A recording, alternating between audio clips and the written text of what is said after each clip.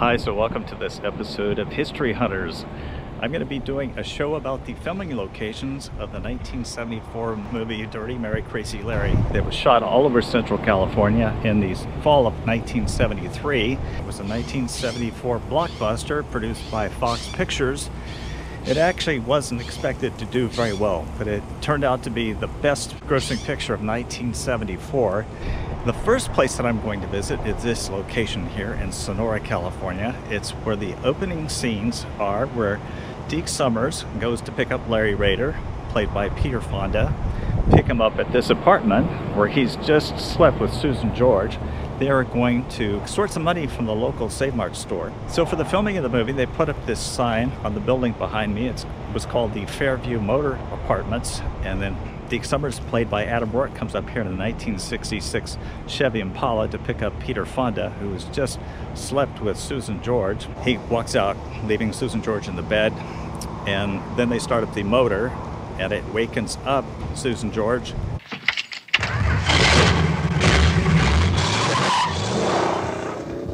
She's very upset by him leaving like that. But let's go up there and check out that building, which is where those scenes were shot. With the opening scene, you see this little retaining wall here and a cat moves out of the way and it was shot right down here. And then the Impala pulls up. Now that post there, that crash post, obviously has been installed since then.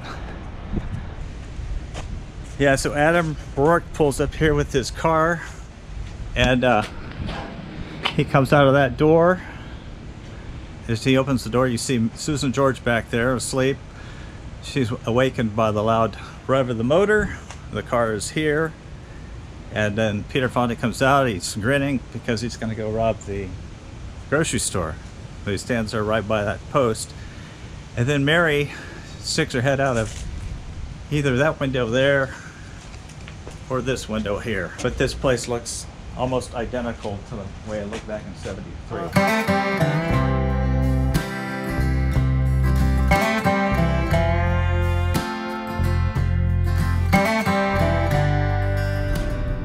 All right, so I'm following the same route in Sonora that Peter Fonda and Adam Roarke took to the grocery store so they could rob it. This particular scene was shot in the evening, so it will look a little different than right now, and it's before noon, but this area has not changed very much at all. Now, it was right in this area where Peter Fonda turns to the Adam Roarke's character and says, nice little town, and Adam Roarke replies, any town's a nice little town when you nail abroad. They're planning their $150,000 extortion from the store manager so they could buy a new race car. They're both down and out on their luck, NASCAR racers, and they need a newer car so they can compete a little better. Okay, so this is the Save Mart that appears prominently in the film. Where a lot of the police action was filmed after the extortion. Only the exterior of the store shots were made here. The other location that was used uh, for behind the store was shot in Oakdale, California. However, I need to point out a couple of things. This location right here is exactly where Susan George gets out of the pickup after she follows Peter Fonda to this location and she sticks her head out of her pickup and says, hey, Oh. But then you'll see Peter Fonda walking to the store in this direction, this way. The bricks match up to the one in the film. And right about here, you see Peter Fonda walking past the corner and she says, hey, and there's a couple that watches, looks her direction. This little shed here has been added, but he would have walked right around the corner here into the store.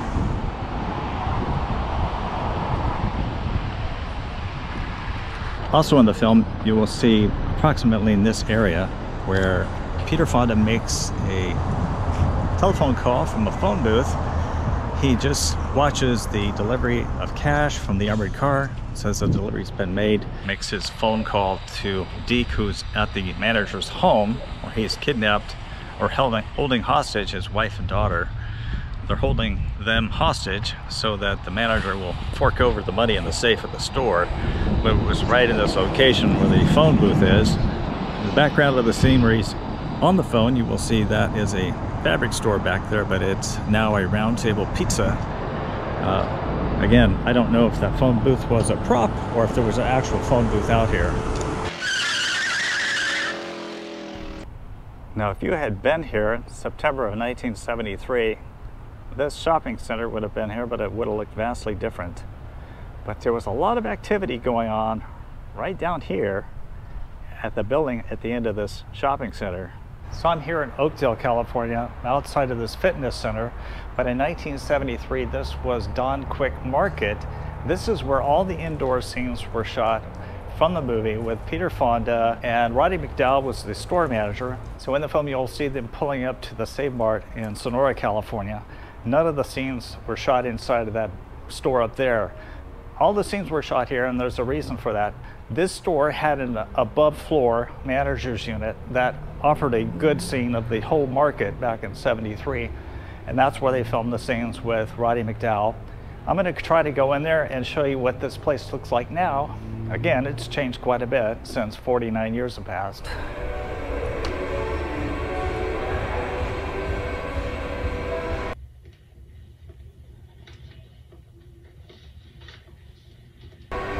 Was right over here that Peter Fonda had approached the manager's office, which had some stairs at the end here.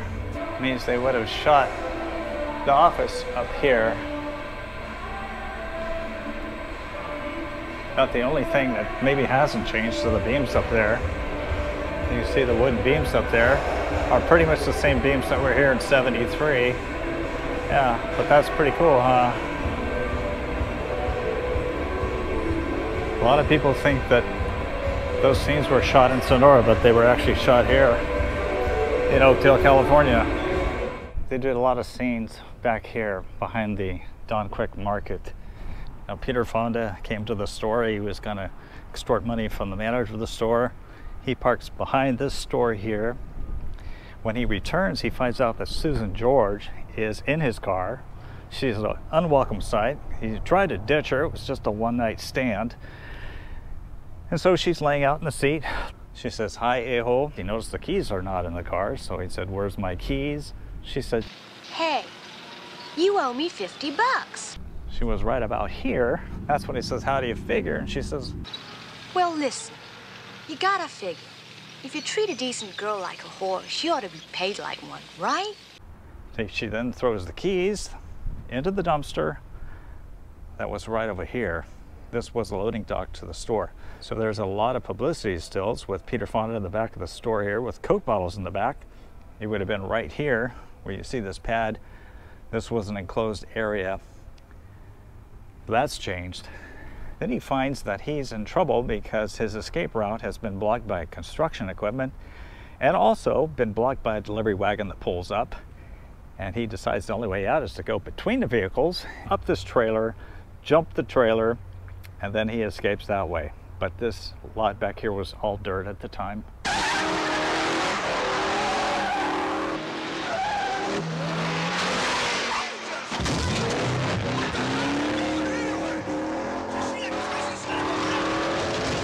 Now, interestingly, I think that building over there, we're next to the Oakdale Irrigation District, but I think that building was here at the time. And you'll see the background of some of the scenes as well. So yeah, cool Hollywood history back here shot 1973 with Peter Fonda.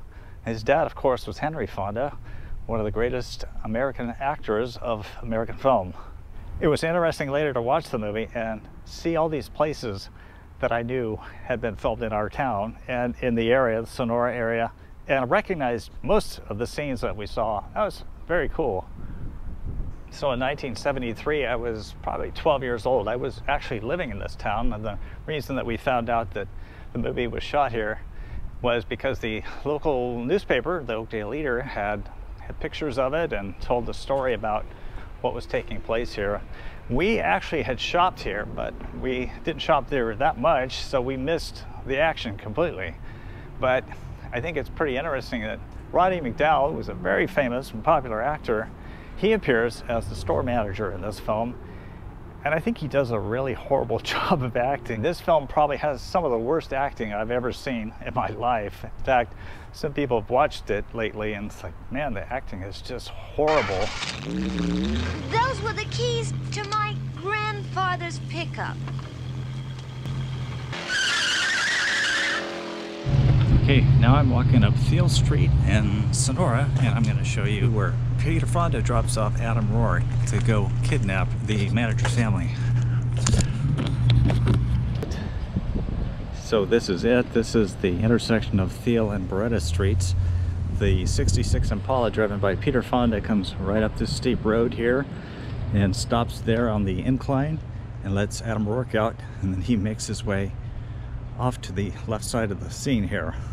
Uh, apparently, he's being dropped off to go break into the manager's house and kidnap the wife and the daughter and to begin the extortion plot. However, those scenes were shot inside of a Stockton house. After they get their money, Peter Fonda comes back here and picks up Adam Roarke. He finds Mary's in the back seat, and uh, he's not too pleased about the fact that she's hitching along the ride. That was shot right here. This has changed quite a bit since then.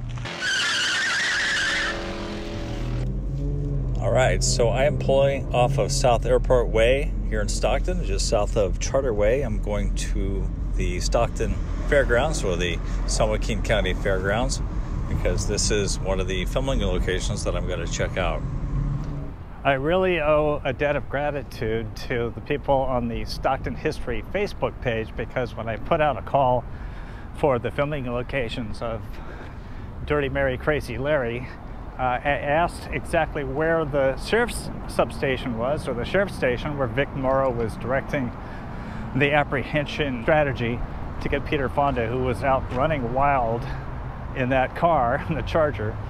And uh, I was told it was right here this building, or possibly a building prior to it, this is where all the scenes were shot, where Vic Morrow is going in and out of the police building.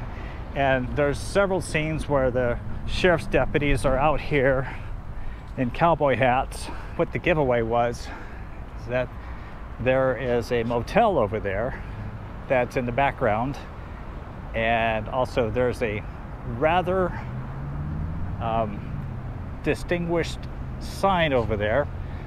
It's the 7-Eleven sign. That sign is still there, but it's been repurposed and redesigned. But this would have been right here, the filming location where all the sheriff's office scenes were shot. Now, I've been unable to determine whether or not this is a new building or if it's been a replacement building. The filming was out here in 1973. I believe it was the fall of 1973. Also, the veteran actor Kenneth Tobey was in here. He was kind of uh, an adversary of Vic Morrow.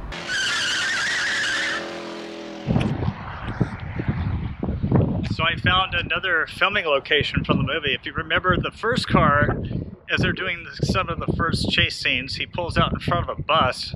It's a crazy scene. It was a crazy stunt, but it was in this intersection here of Highway 26 and Weimer Road. And I'm pretty sure that Hospital Road up there is where they did a lot of the up and down road chase scenes early in the film as well.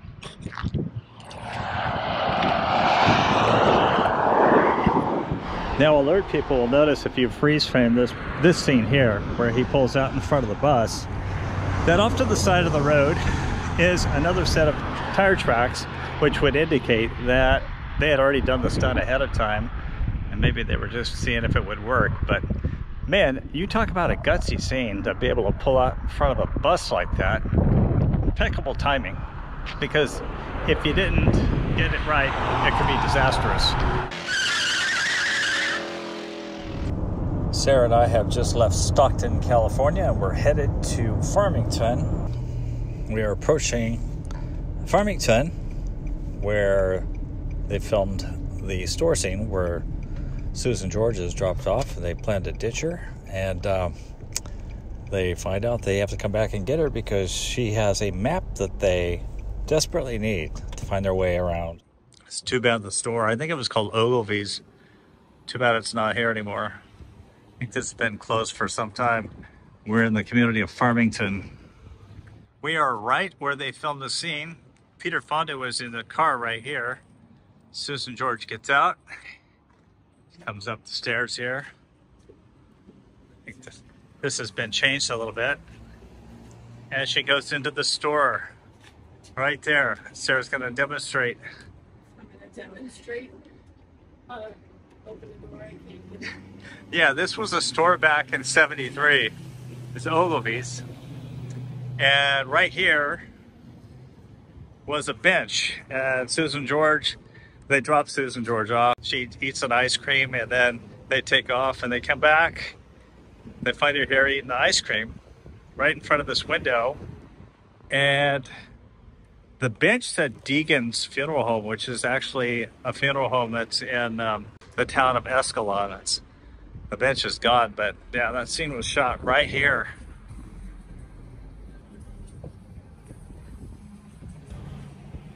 And then Peter Fonda takes off in that direction there. That Mobil gas station wasn't here at the time. Take off that direction towards Stockton.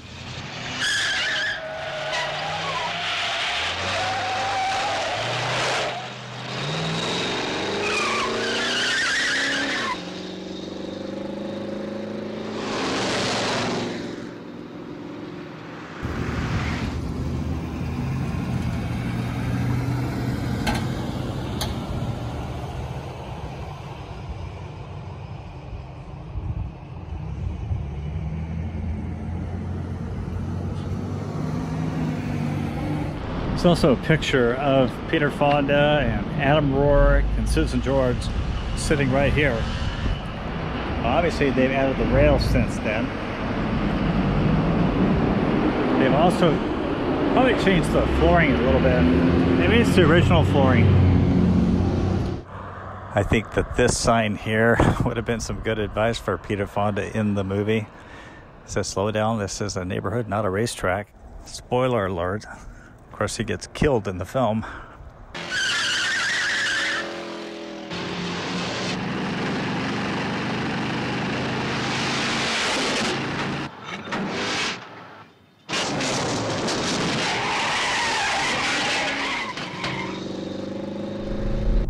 So we're approaching it the way the car would have approached the jump in the film. This area looks pretty much the same. I think some of the trees have grown up quite a bit bit greater. But yeah, the crossing arm comes down here and he blows right through it. The bridge has already been lifted. There's the drawbridge uh, signal arms come down and he would have jumped it right here and went flying through the air and hitting over here and almost going out of control over here. So even though the signs say no parking, I'm gonna do it anyways, just so I can give you all a good view of this location here.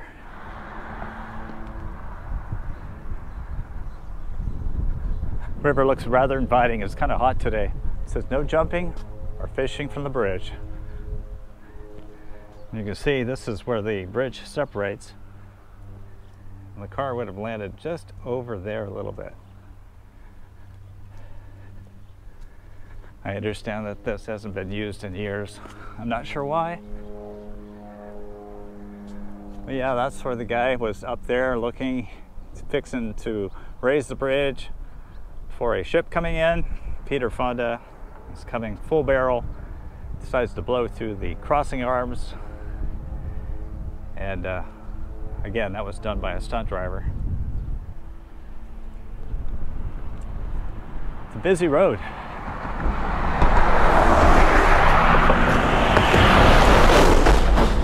That last truck when it rumbled through here scared the bejesus out of me.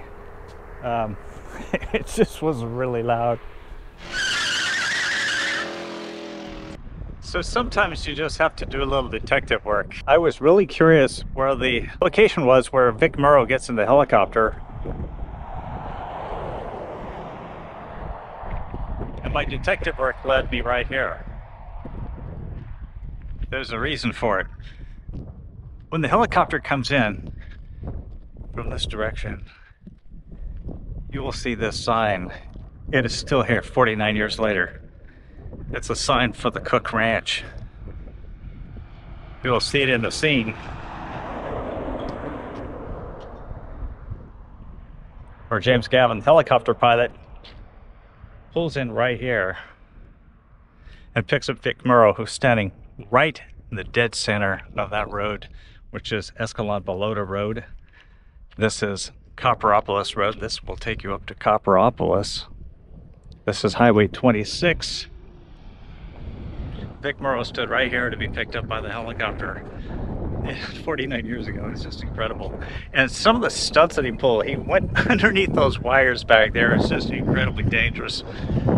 But they do such dangerous things. Now, I should point out that Vic Morrow actually died in a helicopter crash in Hollywood or somewhere down south. He was on the ground. He was filming a movie. I think it was called Twilight Zone. He was carrying two Vietnamese children in this nighttime scene, and one of the explosives blew the rotors of the helicopter off. The helicopter crashed. The rotors went right through Vic Morrow, killed him instantly. Very tragic incident. Vic Morrow was killed today as he ran along a hillside during a shooting sequence for his latest movie. It was a freak accident. A helicopter involved in the movie crashed into them. They died instantly. This is the town of Lockeford. I don't think anything was shot here, but we're going to go up the road here to Clements, where there's a building that I want you to see.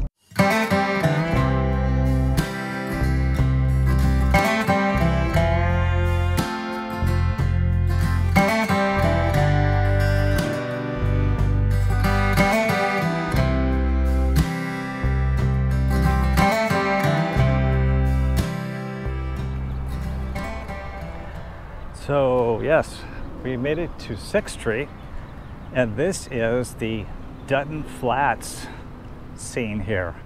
Um, I think at the time there was a railroad track that went through here, and I believe it went right through here. It's now a private driveway. That's where the train tracks were. The charger comes around the corner there in that long shot, makes its way up here so the charger comes around this way and makes its way up to here, and then they turn into the flea market scene. And uh, I know that Peter Fonda and Susan George and Adam Roarke were in that big buzz of activity with the flea market. This is where all the flea market scenes were shot. And all that's here now is abandoned businesses and abandoned vehicle. If you watch the movie, some of the buildings here have changed. In the background, there's some buildings that appear in the film that are not actually here today. They've been bulldozed. But it looks like this was a restaurant at one time. If you will recall, they traded out their 1966 Chevy Impala for the souped up Charger. It was in this location where they stole the vehicle. I believe it was right in here, but I could be mistaken. It would have been right here where the Charger takes off between the two cars. The deputy's vehicle has the door open and takes it right off. Stuns the law enforcement officers and they take off and go to the left. They used a lot of locals for the filming scenes. Uh, you know, they needed a crowd, so they just used locals. And down here is the historic Lone Star Mill. It says Robinson's Purina Chows and G.A. Chrisman warehouse of mixed feeds, grain, coal, and hay. So in this parking lot was the scene where she wants to buy something for Larry Summers, who's played by Peter Fonda. It's a little funky hood ornament. Somebody else comes up and snatches it away from her and buys it. She's pissed off and she wants to go up and she steals it. She steals it from the guy who took it from her. And then that guy goes to the police and then it's on. The police are notified and they're looking for the little blonde and they suspect it's Mary. Mary has kind of a reputation as a girl about town because she's grabbed by a bunch of the local roughies and that also draws attention to the police. So now I'm going to take you over to Linden, the town of Linden, and show you where the bar scenes were shot and also where they shot pool. I have to tell you that finding the location of this scene has been proven a little difficult because I'm not sure exactly if I'm in the right location, but in the movie, you'll see uh, Larry driving down this country road, and then this police officer sees him. One of the sheriffs sees him, and then they take off on a chase, and somehow the sheriff ends up going up the embankment and flipping over, and of course, Larry gets away. But somebody has told me that it's on North Clements Road, which we're now on. It looks like this area right here is where this scene was shot. And if that's the case, then there's a billboard that was alongside the road that the sheriff's car goes right through, and I believe it was also right here.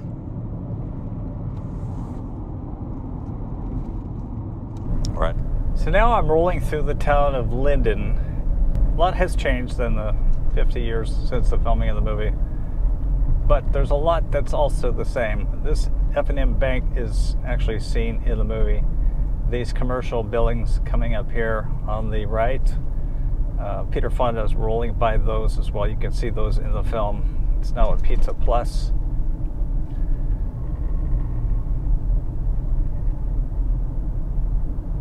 If we continue on down to Linden, we'll come to the bar. The landing spot that Peter Fonda talked about. And he pulls in here, and there's a major scene shot right here on East 26 and Flood Road. It's right here, the famous landing spot. Peter Fonda, and they pull up right here to the side, like I'm doing right now. Walk around the building here to the front. Now, these oleanders weren't here at the time, but like I said, it's been 50, almost 50 years. But this is the front, and Peter Fonda and Susan George and Adam Roarke came out of this bar. I wonder if that door is original. Now, the crazy thing is that it's all busted up and we can see inside the bar where they filmed all the scenes here. Off to, off to the right, there's a door, and it goes back to the room where they played pool, and they did some scenes back there. It's crazy to think that uh, everything is busted open like that.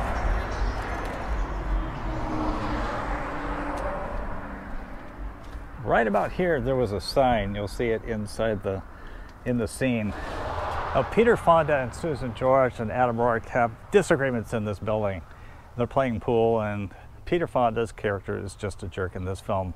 There's a sign he reads it no swearing no spitting no rescue women it actually read risque but he said rescue women so that pretty much sums up your act mary she says oh yeah what about the sign in the window about you and it says out to lunch a lot of people have caught in the background that that sign changes and it's not supposed to. It just magically changes through scene changes.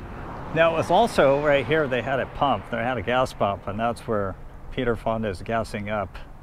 And right at that moment, right there off of Flood Road comes a cop, pulls right around here, turns on his lights and sirens.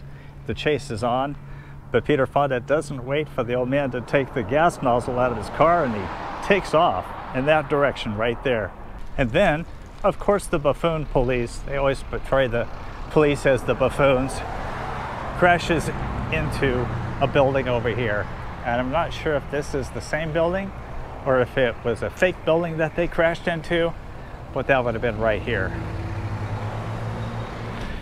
And one of the things that is still here, that was here back in 73, is that building right there. It's now Blue Diamond Almonds of California.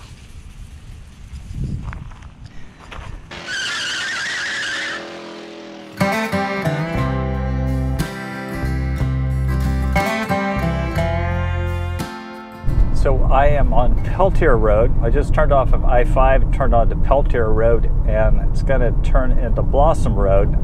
These are where the scenes were shot of Peter Fonda being chased uh, and he goes up a canal bank to try to get away from the deputy, and he ends up making a turn into the deputy, and the deputy's car goes into the canal, and we're coming up to that area. So I'm now on Blossom Road. This is where the scenes were all shot, where Peter Fonda is being chased by the sheriff's deputy. The car goes up on the canal bank, a little bit higher than the the police car and he continues. They're kind of dueling, and then Peter Fonda comes back out on the road, and then they have a where they bump each other.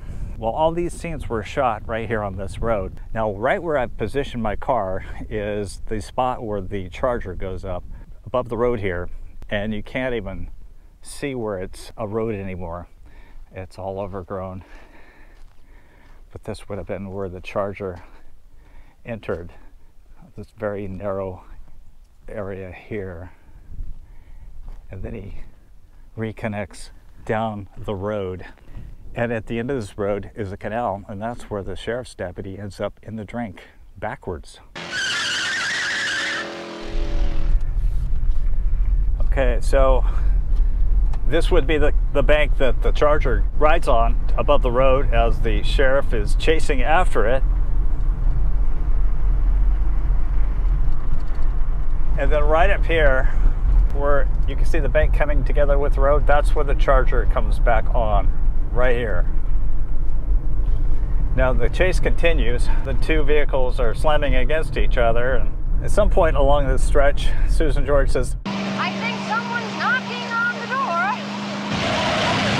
And then he says something smart alecky about it, and then right up here you see him make this maneuver where he takes his car and he crashes it right into the sheriff's deputy's vehicle and it goes into the canal right up here. And I'll get out and show you all about that. I do have to say after coming out here that this really hasn't changed hardly at all in 50, almost 50 years. There's a shot this area where the cars make contact. The sheriff's deputy car goes here sliding backwards. Uh, of course, this house wasn't here at the time and the car goes in the water right here backwards. But what the dead giveaway is in the background of the movie, you'll see that metal barn over there. It's still here. It's the same barn. As you can see how wide that is. Um, and the car ends up, I think, right about there. Somebody's coming up here with a boat. That's pretty cool. I am almost positive that this bridge has been widened because when you look at it in the movie, it looks like a one lane bridge, and now it's a two lane bridge. Hollywood movie history shot right here.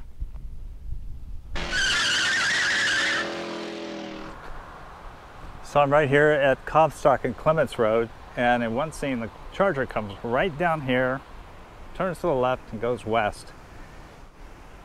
But just thought I should tell you, this is the area where they did a lot of the chase scenes, all these walnut orchards, and a lot of the scenes go taking off through these little rows between the orchards. And uh, that's where they did a lot of chase scenes as well.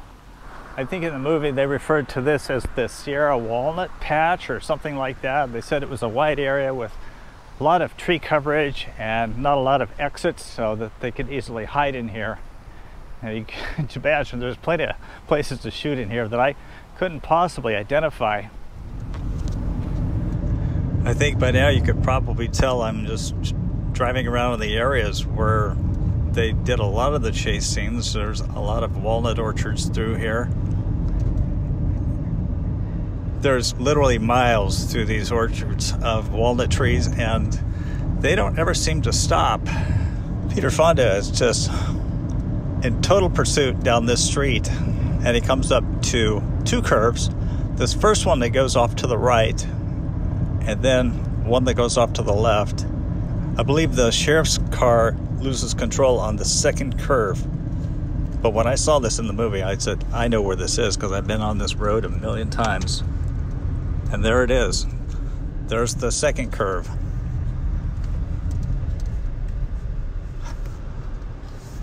Now, this is also the kind of orchards that they pulled into. Uh, they pulled off during the chase, and uh, they had some personal reflection time about what was going on. At least Deke did, and so did Mary. I'm totally amazed that this place hasn't changed hardly any since the filming of the movie in the 70s. These trees, I think some of them have been here all along. very thick, dense walnut trees. This location is probably the most important location of the whole film. So I'm right here at the intersection of Ketchum and Archerdale Road, and this is where the film starts. It's where the film ends with tragic results. So let's talk to you about the beginning of the film. You will see a train coming down these tracks right here. These tracks are no longer in use. But it's the end of the film that has the most shock and awe of this location. Peter Fonda thinks he's made his great escape from the law enforcement who has been chasing him in the entire film. And they finally get to this location and they're not paying attention and they hit a train head on. Ain't nothing gonna stop us. Oh. sure looks that way.